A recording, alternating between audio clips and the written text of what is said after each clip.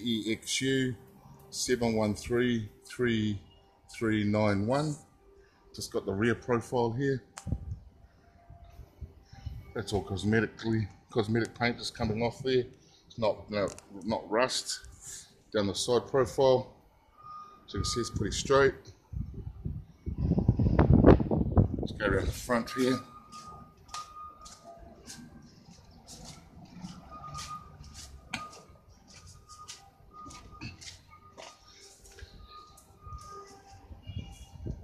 and just